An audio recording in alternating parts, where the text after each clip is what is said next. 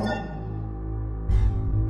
Alright guys, TacticalRab back again today. Hope you're enjoying your Saturday so far once again. And today we're going to talk about Benson and this situation that has gone down over the last 24 hours or so. Early in July we got this that came out from Crone at CDL Intel looking like Benson was leaving the CDL at a similar time really to the whole Momo situation went down that we discussed in depth about a month or so ago. But then as a result of this, uh, Benson does some tweets. He kind of disappears off the social media landscape for a little bit. Then he comes out with, uh, well, a response talking about how he is leaving the CDL. And now yesterday he comes out with exactly what is his next steps look like. We kind of, uh, you know, theorized at the time. This was not what I was expecting. Pretty cool to see, but there was definitely some other storylines if you read between the lines. Like if you guys enjoy the video, subscribe if you are new as always. And let's hop into things then. So Benson tweeted on the 1st of July, yesterday was full of emotion. I got an incredible offer to top it off and he changes bio taking COD League and Activision out of it and all of this stuff. Then he comes out a couple of weekends later. Hey friends, in case it is not clear, I am no longer with Activision and the CDL. Unfortunately, I cannot say much due to advice from my legal counsel and that should tell you everything. What I can say, the past week has been the best week of my life, hands down, and more info coming soon. So, very interesting tweet. I don't really know what to make of this at the time. Seems kind of cryptic in a sense, like that should tell you everything, all this kind of stuff. Um, and you know, like Potoff uh, you know, burns over at United, comes back with a heart emoji, but pretty much no one else uh, from the CDL came in, replied to this tweet, and say like, you know, good luck for your next steps and everything like that. So it was kind of interesting that Burns was pretty much the only one to do so. And then, uh, well, Crone tweeted this out a few days earlier. We just get the wave emoji here from Benson, and then we get this, which is another interesting tweet on the same day. Like he's kind of like rambling all over the place. Kind of an interesting one. Much love to the broadcast team as well. Love them all. So much love to all the COD fans. So then this is what he comes out and confirms yesterday. Let's go through this in full detail here. Let's start from the top. So many people have been asking me what my future plans are. I can happily say today I have a few things in the works, one of which I can share with you today. After working in esports for almost a decade now, the one thing I have noticed is how difficult it can be for talent to improve their craft, whether it's hosting, analyzing, or commenting, receiving effective feedback which helps you improve in the short term and the long term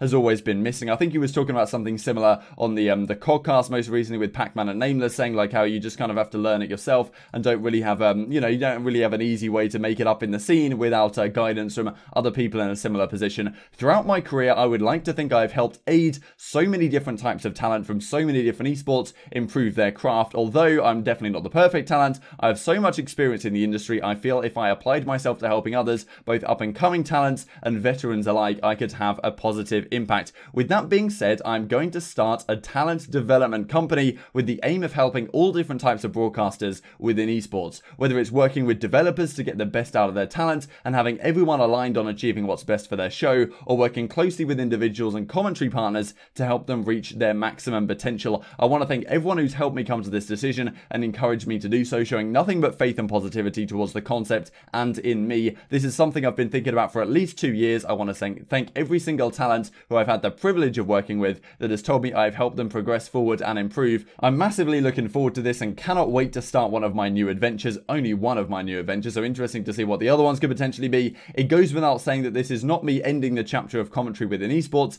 as I still have a few things to consider, more information coming soon. So this is certainly interesting stuff. We see some replies to this about the next step, and Benson says, not an agency, I won't be signing talent, more working with them to help them improve. Now, um, okay, when you look at this from another perspective, it does get kind of interesting, right? Because we have this whole situation with uh, him being released at a similar time to the Momo stuff and what exactly is going on there. And then we get uh, this announcement from Benson about a month later talking about exactly what's going on. Where this does get quite intriguing, though, is when you look at it from the perspective of, well, if you're going to leave the CDL in the middle of the season on your own accord, you would have thought that you would have something particularly well planned out or a very good reason to leave the CDL right in the middle of the season, just you know, a month and a bit before champs, right? You would imagine if that was the case, you would have had a very solidified reason, and you'd have to think you'd have to be thinking, I've got to leave now, and I've got to start this business now because I have potential clients on the way, I have the branding all ready to go, it's ready to launch. However, as we see from Benson's announcement, he doesn't have clear branding. Who knows exactly what this company is going to be called? Um, you know, he doesn't seem to have, you know have to like clients ready to go and all of this kind of stuff. We see some replies here from uh,